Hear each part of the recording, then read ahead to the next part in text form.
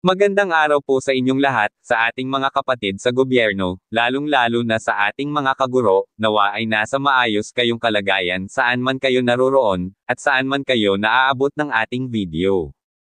For today's video ay may dalawa po tayong information na pag-uusapan. Ang una ay tungkol sa isang lawmaker na nagtutulak upang maaprobahan ang pag-upgrade ng minimum salary ng mga guro from salary grade 11 to 19. At ang pangalawang information naman ay tungkol sa sinabi ni Undersecretary Michael Poa, na wala ng pinansyal na tulong sa senior high school voucher program sa mga state at local universities and colleges.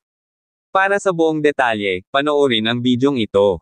At kung bago po kayo sa ating channel, mangyaring paki-subscribe, like, and share, at paki-hit na rin po ng notification bell para maging updated po kayo ng mga ganitong information, at narito ang detalye.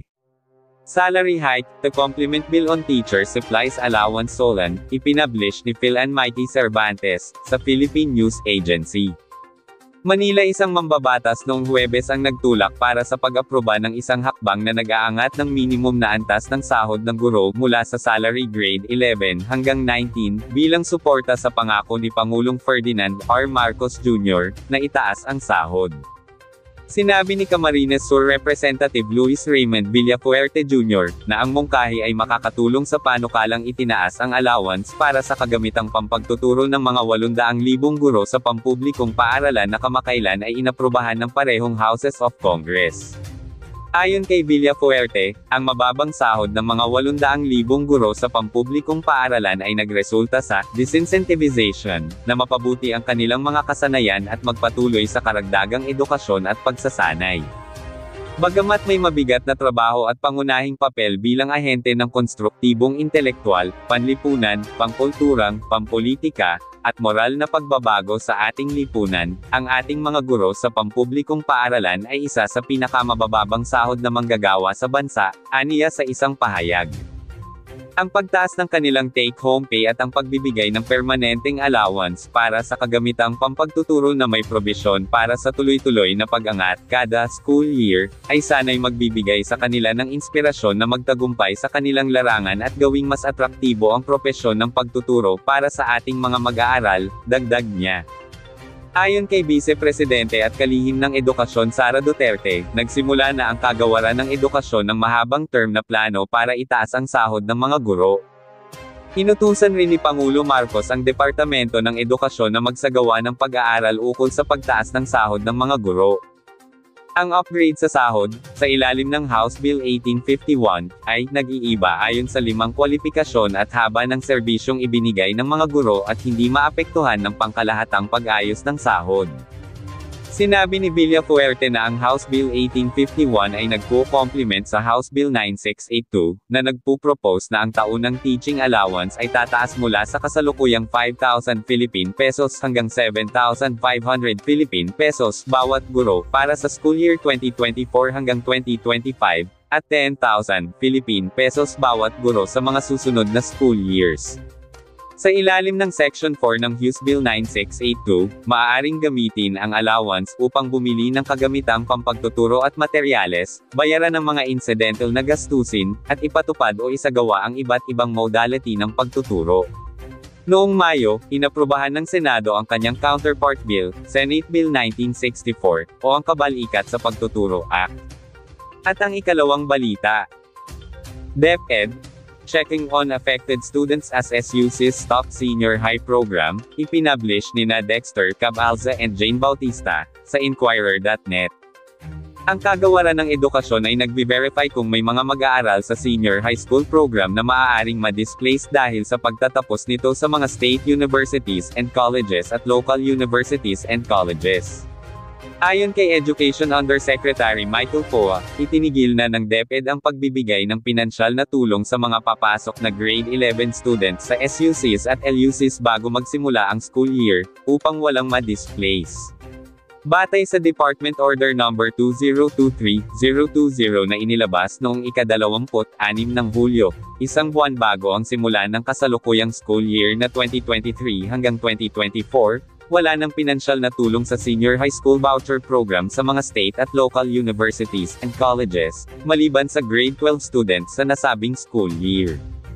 Binibigyan lang namin ang grade 12 students ng pagkakataon na tapusin, sabi ni Poe sa Inquirer noong Martes. Gayunpaman, iniimbestigahan pa rin ng departamento ang mga regional offices nito kung may grade 11 students na tinanggap ng SUCs at LUCs na hindi saklaw ng subsidiya, dahil sila ang pinakamalamang na ma-displace kapag tumigil na ang lahat ng kasangkot na higher education institution sa pag-aalok ng senior high school program. Panahon ng transisyon. Ang Memorandum Number 35, na inilabas ng Commission on Higher Education noong 2016, ay nagbibigay daan sa pakikilahok ng SUCs at LUCs sa basic education sa pamamagitan ng programang ito.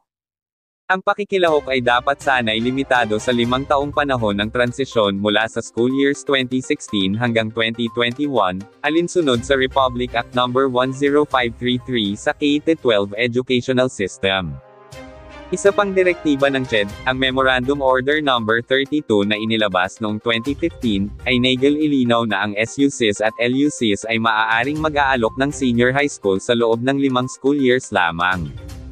Mas maraming mag-aaral. Ngunit na-extend ang programang ito, ng ilang taon pa, dahil sa pandemya, sabi ni POA, at idinagdag na ang kasalukuyang school year na 2023 hanggang 2024, ang huling taon na ang voucher program ay mag -e extend sa mga mag-aaral sa LUCs at SUCs.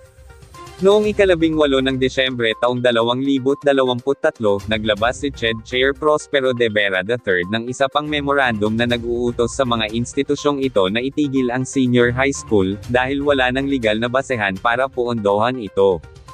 Sa isang panayam noong nakaraang linggo, sinabi ni De Vera na napilitan siyang maglabas ng memorandum na iyon matapos malaman na, ilang, SUCs at LUCs ay patuloy na tinatanggap ang mas marami pang senior high enrollees noong nakaraang taon, dalawang taon matapos ang panahon ng transisyon. Sabi ni De Vera, naunang paalala na sa mga SUCs at LUCs na itigil ang kanilang senior high program at hindi natanggapin ang mas marami pang mga mag-aaral. Ang enrollment sa SUCs at LUCs ay lumago at naging stable na. Kailangan nilang gamitin ang kanilang pasilidad para sa mga programa at mag-aaral sa kolehiyo at universidad, sabi niya. Dagdag pa ni De Vera, may SUCs at LUCs na humihiling na payagan pa silang mag-alok ng SHS sa kanilang mga paaralan. Kabilang sa mga institusyong ito, ani De Vera, ay ang Mindanao State University, kung saan siya ang ex-officio chair ng Board of Regents. Ayon sa kanya, nagpasa pa ng resolusyon ang board para makipagtagpo sa DepEd at humingi ng espesyal na konsiderasyon para sa kanilang kaso. Maling akala. Nang tanungin tungkol sa bagay na iyon, sinabi ni POA, handa kaming makipag-usap sa CHED upang talakayin kung may mga exception o anong mga rekomendasyon nila upang alamin kung may magagawa tayo. Ayon sa kanya, kung may mga mag-aaral na apektado sa pagtigil ng senior high school, maaaring sila ay tanggapin sa mga pampubliko o pribadong paaralan bilang mga voucher recipient. Linino din ng opisyal ng DepEd ang maling akala ukol sa isyo habang binigyang diin na hindi tatanggalin ang senior high mula sa K-12 program. Hindi natin tinatanggal ang grades 11 at 12 dahil hindi maaring unilateral na tanggalin ng DepEd at CHED ang senior high school. Ang pinag-uusapan natin ay ang pagtigil ng senior high school program sa SUCs at LUCs dahil tapos na ang transitory period, ani POA. At dito po nagtatapos ang ating video. Para po sa inyo mga kaguro, kung nagustuhan nyo po ang ating video, mangyaring mag-iwan ng inyong comment sa comment section sa ibaba, para po patuloy kayo maka-access ng latest information, mangyaring paki-subscribe, like at share para ma-notify po kayo ng mga latest updates. Maraming salamat po.